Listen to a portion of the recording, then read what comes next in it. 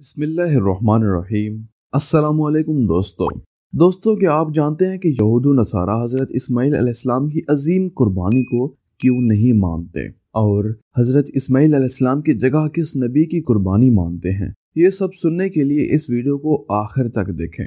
اس video کو آغاز کرنے سے پہلے آپ سے گزارش ہے کہ اس چینل کو سبسکرائب کریں اور گھنٹے کے بٹن کو لازمی دبا دیں۔ دوستو، اہل کتاب یہود و نصارہ اس امر کے دعوے دار ہیں کہ حضرت ابراہیم علیہ السلام نے اپنے خواب کی بنا پر جو قربانی اللہ کی بارگاہ میں پیش کی، وہ حضرت اسماعیل علیہ السلام کی نہ تھی، بلکہ حضرت اسحاق علیہ السلام کی تھی۔ بلکہ قرآن اور بائبل کے سیاق و سباق سے اس بات کی وضاحت ہوتی ہے کہ وہ حضرت اسماعیل ہی تھے۔ اس لیے اگر یہ واقعہ جناب اسحاق سے متعلق ہوتا تو اس کی یادگار بنی اسرائیل میں نظر آتی، کیونکہ جناب اسحاق بنی اسرائیل کے مورے سے اعلیٰ تھے، مگر ان کی مذہبی روایت میں کسی قسم کی کوئی یادگار اس واقعے سے متعلق نہیں ملتی۔ برخلاف اس کے کہ اولاد اسماعیل میں اس واقع عظیم کی یادگار قائم ہے، جو آج تک عید الاضحیٰ اور مناسب کے حج کے موقع پر قربانی کی شکل میں منائی جاتی ہے۔ حضرت عمر بن عبدالعزیز نے اپنے دور میں کسی یہودی عالم سے دریافت کیا۔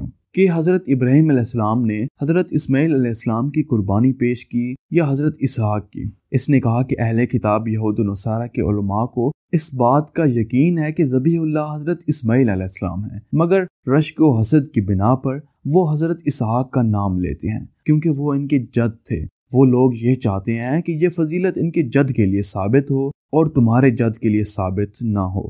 دوستو، اگر آپ کو ہماری یہ ویڈیو پسند آئی ہے تو اسے اپنے دوستوں کے ساتھ ضرور شیئر کریں اور ہمارے چینل کو سبسکرائب کریں تاکہ اس طرح کی مزید ویڈیوز آپ تک پہنچ سکیں۔ ملتے ہیں کائی میڈیا کی ایک اور نئی ویڈیو میں۔ تب تک کے لیے اللہ حافظ۔